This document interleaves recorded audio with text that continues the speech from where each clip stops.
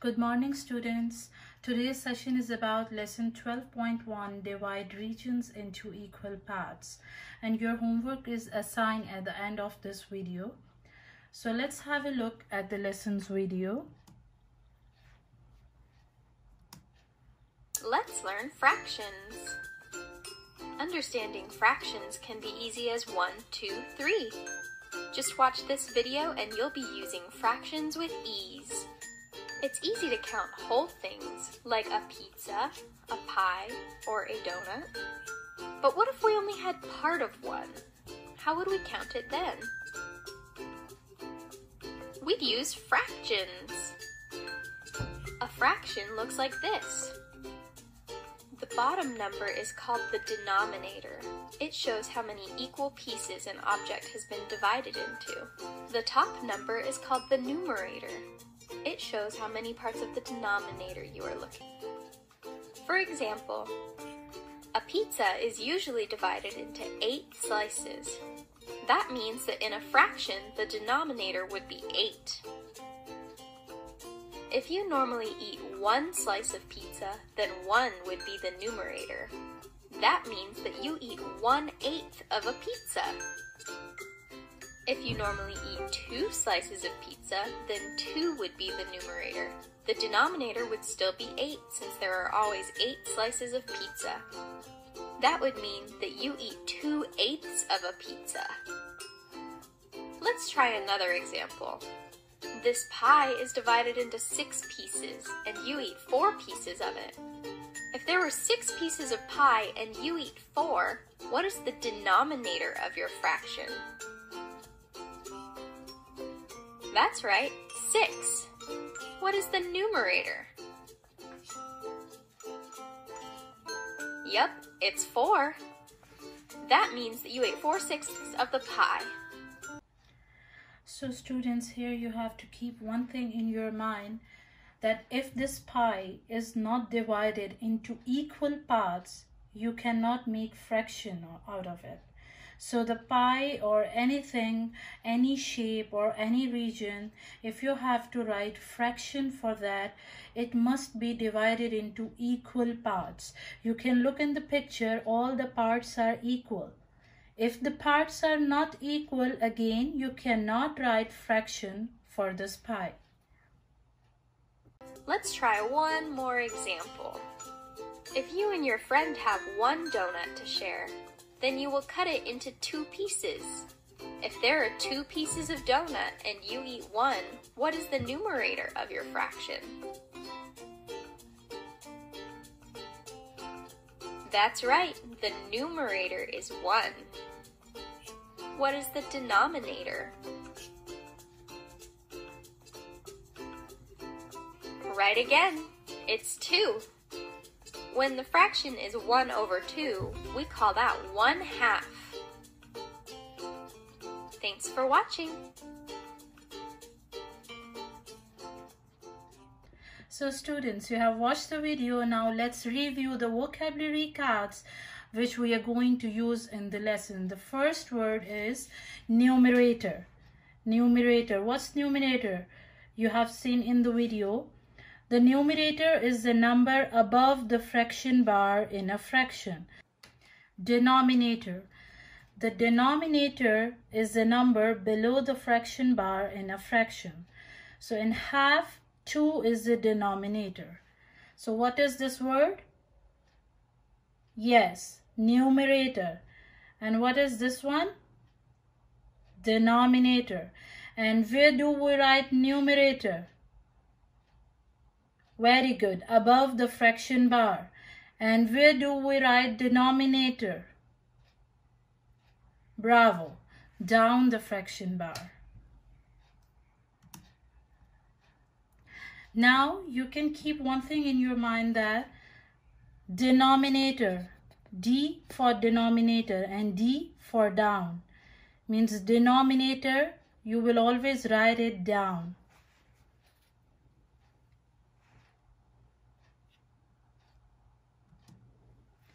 Okay, next word is fraction. Fraction. Now, what is fraction? When we write a number in this form and there is a bar between the number, that is called a fraction. We have a numerator, we have a denominator, and there is a bar between the two numbers. This is called a, very good, fraction. And then unit fraction, unit fraction, unit fraction. If you look at the word unit, what does unit mean? Unit mean one. So any fraction in which the numerator is 1 that is called a unit fraction. Denominator could be any number but if the numerator is 1 that is called unit fraction. Okay, so let's begin the lesson 12.1 and the problem is show two different ways to divide 2 times 6 region into 6 equal parts. Color the 6 parts of each region a different color. How do you know that parts are equal? Now you have to draw the lines to divide these regions into 6 equal parts. And then how can you tell that the parts are equal? So what I did, I have drawn the lines here and I have colored them with the different color pencils and I know the parts are equal because each part has two unit squares. Each part has two unit squares. So if the unit squares in each part are the same, that means we have divided the picture into equal parts. Next page, question 1 in example. In box B on page 610, explain how you know the four parts are equal. So this question is related to this example on page number 610. So how do we know that this region is divided into four equal parts? By counting what we can tell that the region is divided into four parts and those parts are equal. Yes, because each fourth has three units. Each fourth has one, two, three units. That's why we know the four parts are equal. Question 2 and 3 we have to label the pictures if the parts are equal or unequal and if it is equal then we have to write fraction for one part. So writing a fraction for one part means the numerator will be 1 and the denominator will be the whole. How many parts the picture has. So question 2 this region is divided into equal parts. So I have written equal and these are six parts and for one part the numerator is 1 and denominator is the six equal parts and this shape is not divided into equal parts so I cannot write fraction for this. Okay, question 4. Draw lines to divide the shape into 8 equal parts, then write the fraction that represent one part. So first of all, you can write fraction by reading the problem just. How, how many equal parts they are asking to make?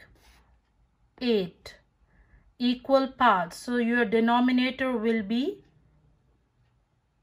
very good 8 and then you have to represent one part. So your numerator will be very good. Now you have to draw the lines in this box and divide this into eight equal parts. Now how you will know that the parts are equal? By counting the squares. Each part should have the same number of squares.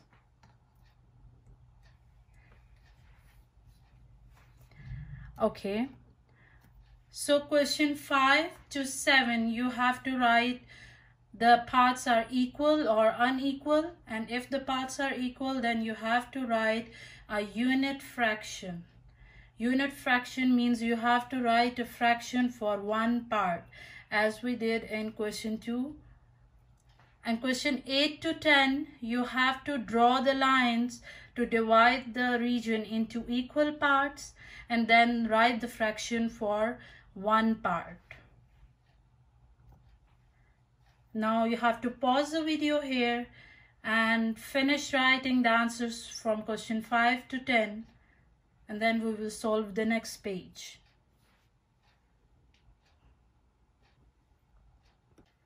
Okay, so here are answers from question 5 to 10. You can match your answers. Let's go to the next page. Okay, so first of all, you have to read the information given in the table. This is flags of different nations and the nations are Mauritius, Nigeria, Poland and Seychelles.